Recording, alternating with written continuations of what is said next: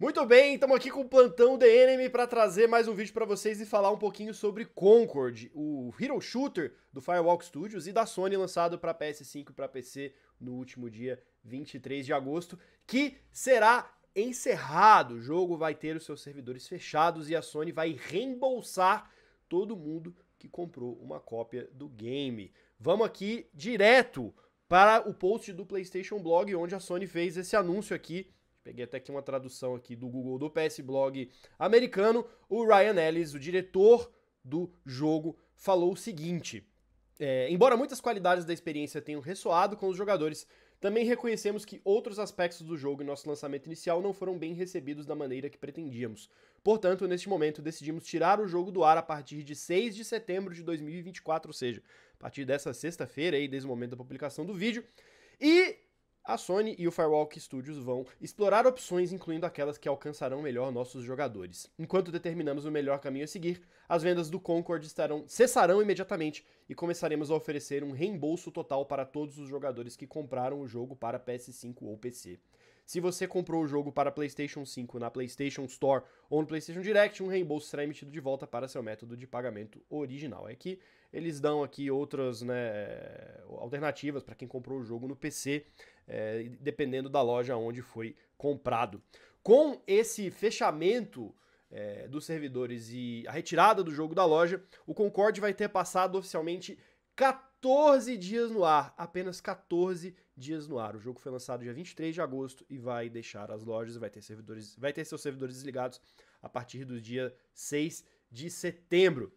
Já esse já pode ser considerado um dos maiores fracassos aí da história dos videogames, talvez o maior fracasso da história da Sony, é, tendo em vista que o jogo teve mais de oito anos de desenvolvimento e certamente é, um orçamento também bem poupudo. Se a gente parar para pensar em toda a estratégia da Sony, é, especialmente a partir de 2024, que eles vêm falando em seus mais recentes relatórios fiscais, do que eles estão né, tão, querendo fazer um foco em jogos como serviço, certamente é algo que deve fazer eles repensarem essa estratégia.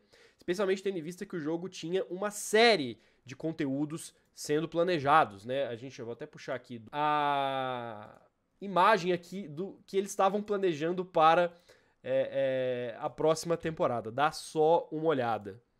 Eles já estavam com a temporada, com as duas primeiras temporadas do jogo completamente planejadas, com novos personagens, novos mapas, updates de qualidade de vida, novos cosméticos, ou seja, era um planejamento para um jogo que iria durar muito tempo no ar. E é muito assustador pensar, né, que tendo toda essa estratégia numa Sony que tem tido uma vontade de migrar para esse mundo dos jogos como serviço, é, tendo tido até um caso de muito sucesso com o Helldivers 2, né?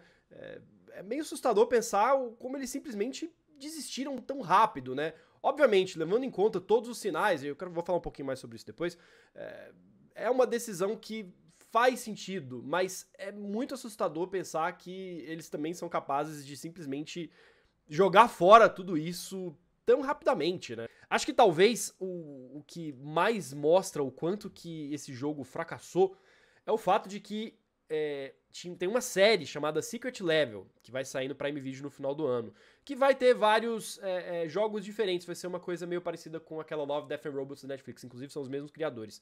E um dos episódios planejados para essa primeira temporada da série era justamente sobre Concord.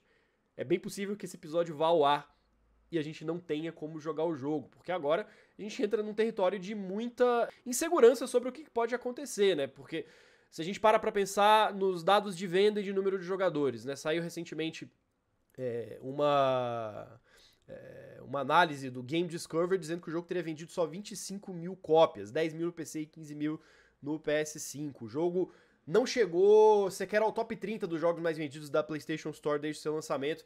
E é claro, o número que mais mostra publicamente o fracasso do Concord é o pico de jogadores logo após o lançamento na Steam. O jogo não conseguiu chegar nem a 700 jogadores pouco mais de três dias depois do seu lançamento, né? E geralmente o lançamento do jogo, especialmente o primeiro fim de semana depois do lançamento do jogo, é quando a gente vê aí o maior número de jogadores. E, enfim, não tinha nem 700 pessoas jogando Concord. É, você tem relatos de pessoas que estavam jogando o jogo e se deparavam com jogadores de nível altíssimo, ou seja, seriam, eram os próprios desenvolvedores do jogo que estavam ali tentando ocupar um pouco aquele universo para garantir uma experiência para quem ainda estava jogando. Certamente é, é uma decisão muito brusca ali por parte da Sony de retirar o jogo tão pouco tempo depois do seu lançamento, mas mostra o, o que todo mundo já estava vendo, né? O que todo mundo já estava avisando, o quanto que é, o jogo simplesmente não atraía jogadores, o método de, de, de, monetização do jogo que certamente não ajudava eles, o fato de ser um jogo pago é, em um cenário né, em que praticamente todos os seus concorrentes são free to play. Então, assim, são muitos os problemas é, que o jogo apresentava que contribuíram para essa situação. Acho que o que é mais é, é, é, assustador agora é de fato como fica a situação do estúdio, do Firewalk Studios, que basicamente era um estúdio é, que, montado para esse projeto. Então, né, levando em conta o que a gente tem visto na indústria de games, é, é de se temer sim pelo futuro do Firewalk Studios que é, corre um sério risco agora de ser fechado e de todos esses desenvolvedores acabarem ficando sem emprego. Mas a gente tem uma série de vídeos aqui sobre Concord, a gente falou um pouquinho sobre, é, tem impressões do jogo e a gente quer saber agora de você aqui que está assistindo a gente nos comentários. Você acha que esse é o maior flop da história da Sony? Comenta aqui, não se esquece também de deixar um joinha no vídeo e de assinar o canal do DNM. É isso.